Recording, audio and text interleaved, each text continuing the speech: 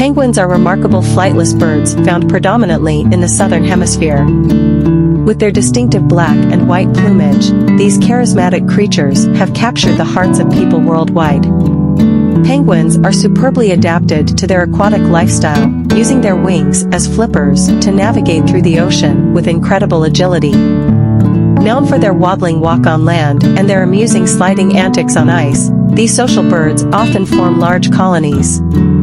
Notable species include the emperor penguin, known for its regal appearance, and the playful Adelie penguin. Penguins are not just adorable, they exemplify nature's ingenious adaptations for life in both icy and marine environments.